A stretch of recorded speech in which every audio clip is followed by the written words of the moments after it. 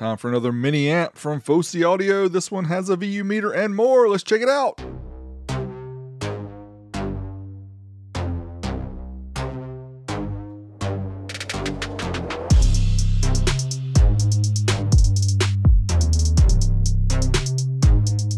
Over the past several years, these mini home audio amplifiers have become very popular and great sellers on Amazon and other places because you get a lot of bang for your buck. I'll leave a link in the video description to a playlist of all the home audio amplifiers I have tested in the past. Fosi Audio recently sent out this MC351, their latest amplifier, so let's open it up and see what's inside. Right off the bat, you'll see this user's manual. Unfortunately, it is very thin of information. There's only a couple pages per language, and it did not provide all the details that I would hope it would provide. Course, you do get an optical cable here for digital connections to the amplifier, as well as a USB A to USB C cable. And I'll talk about the USB later in the video, the connection on the back of the amplifier. In addition, we have the power supply. In this case, it is a 32 volt, 5 amp power supply, which is 160 watts total if you do the math. Now, if you know this amplifier has two of the TPA 3255 chips, this power supply seems well underpowered to me. But here is the amplifier, and notice the VU meter there on the left, very cool. It uh, has a slick Fosi audio design, and I kind of like the way it looks. So let's talk about some of the features. It has a built-in DAC, high power with great sound, user-friendly control design, vintage charm, and exquisite craftsmanship. You big dummy. On the front of the MC351 is the VU meter. It appears to be for the front channels only. To the right of that is the input mode, which is just an LED that lights up beside whichever inputs you're selected. And to use the mode button here allows you to select between the Bluetooth, RCA, coaxial, optical, or USB inputs. Moving to the right, we have the bass and treble controls via potentiometers.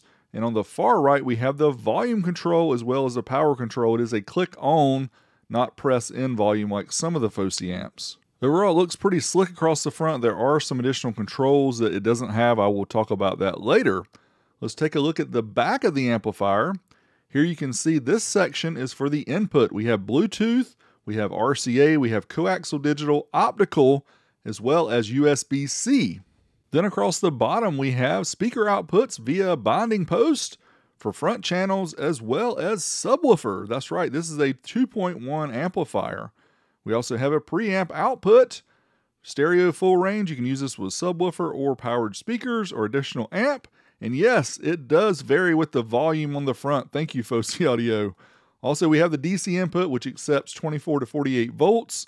32 volt, 5 amp power supply is what's included. I'm not really sure the 2.1 amp design for the US market. I'm not really sure who uses a passive subwoofer anymore. But there you go. You can see all the different inputs that are allowed as well as the outputs. And you can use the preamp out if you want to for a powered sub. The ratings are 165 watts by 2 plus 350 by 1 at 4 ohms. Now, of course, we're going to test that out to find out what the true power output is. As far as dimensions go, for the width, 13.8 inches, for the depth, 9.2 inches, and for the height, 3.6 inches. Now for the part they can't hide from us. That's right, the true power output using the amplifier dyno. As you'll see here on the left, we'll show the power output in watts. In the middle, the ohm load on the right, the voltage of the dyno, but you can forget that because we are using a battery bank to power the dyno. Hold on to your butts. Now here as we power up the amplifier, begin by turning it to the right, you will see the LEDs light up here for the VU meter and I'll also go between the selections that we are on RCA. We're going to do the front channels and of course we're going to use the included 32 volt 5 amp power supply, which again I think is insufficient. And here are the front channels. These are ones we're going to be testing. Testing at 1 kilohertz. It's rated 165 watts by 2 at 4 ohms.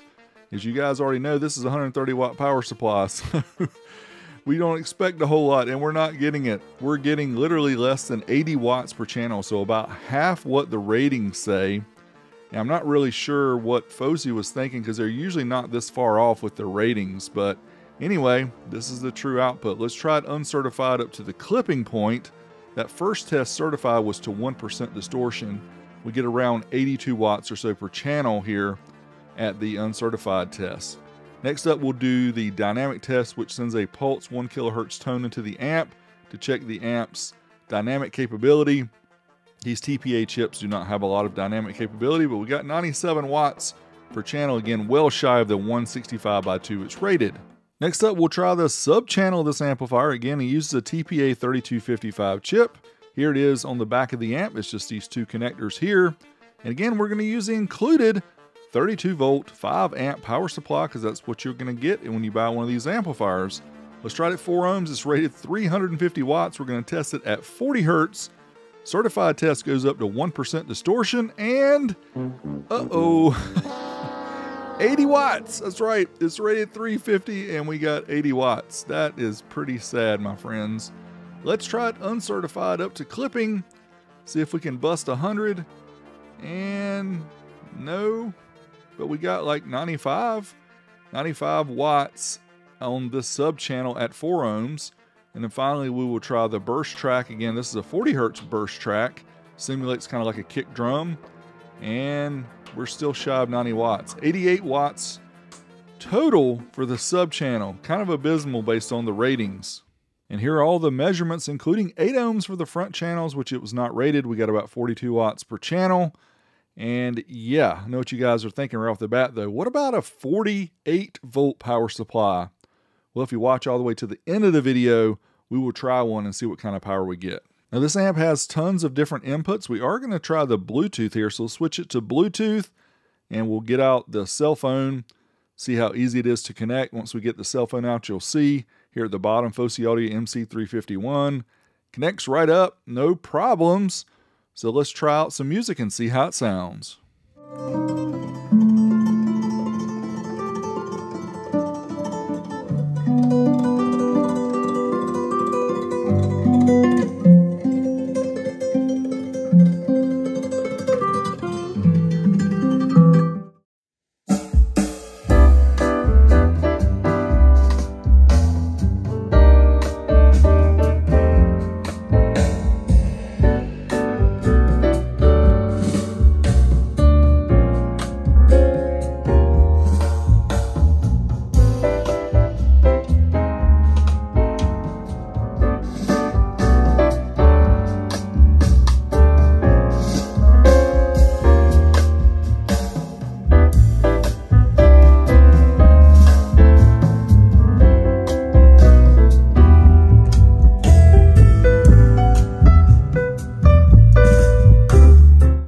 Add in the Savard Hi-Q 6.5 inch subwoofer on the sub channel, see how it sounds.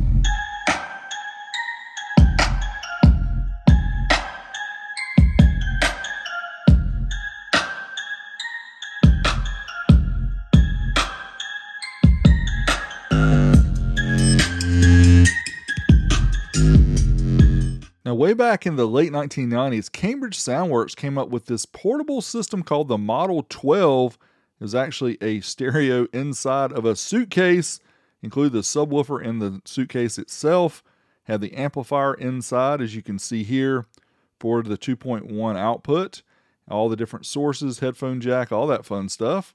And it had a power supply and everything you needed inside the box, including the satellite speaker. So, what I decided to do is kind of replace the amp that came with it Let's try the Fosi MC351 and see how it sounds with this setup.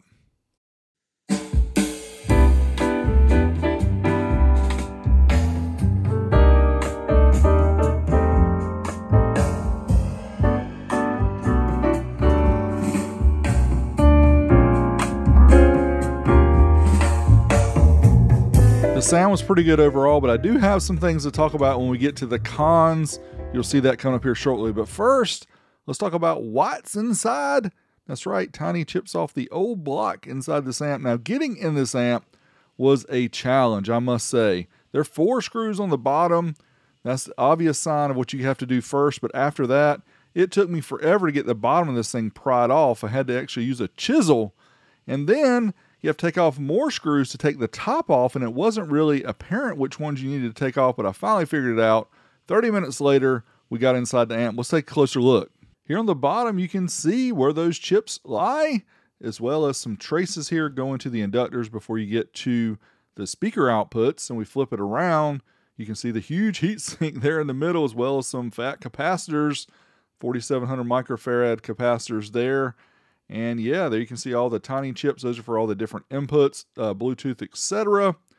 And here you go, closer look. This is actually using the macro mode, so it can get way up. Take a real close look. We decided to go ahead and take the screw out here so we could pull off the heatsink and take a look at the chips. And there they are, tiny, tiny TPA 3255 chips. These are great sound quality chip amplifiers, Class D, that are used in a lot of these newer mini home out audio amplifiers. And I really like the TPA 3255. I think it's one of the best. This big heatsink helps keep everything nice and cool. I did not get the thermal camera out for this, but I can tell you it did not get hot overall. Now let's talk pros and cons of this Fosi Audio MC351. First up is a three channel amp with two TPA 3255 chips, multiple input sources, does have a VU meter, we asked for that before, Preamp output, yes, it varies with the volume control. Thank you, Fosi. Crossover on the power sub output, and the sound quality overall is very good, even if you just use the two channel out of this. Sounds great. Now, for the cons, it does not have a selectable high pass filter for those active channels, which can be a problem with small speakers. USB thumb drive can't be used, it has to be used with a computer because there's no controls on the amplifier itself. The 32 volt 5 amp power supply is lacking the measured versus the rated power, crazy in this case. No volume for the powered sub channel. You really need that independent control for that. Two VU meters would have been better. There is no remote control if you're using this as a home theater device.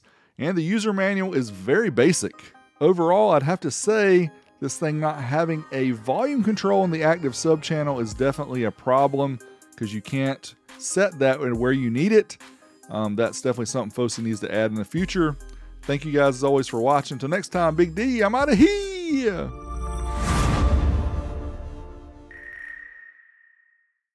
As promised, we're going to try the 48 volt 10 amp power supply that should have definitely come with this amp. Let's try the front channels and we'll try it certified to 1% distortion. Here we go, 1 kilohertz tone. What can we get?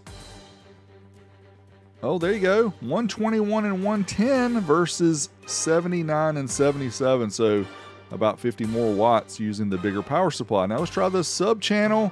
Again, using the bigger power supply. Here we go, certified test using the 40 hertz track up to 1% distortion. What are we gonna get? Oh, definitely more than 80 watts. Oh man, 193 versus the previous test we got 80 with the smaller power supply. Can't be cheering too much though. It's rated 350 watts at 4 ohms and we got 193, so well shy of that rating. Fosi needs to work on that, but thanks as always for watching. More videos coming. Till next time, Big D, I'm out.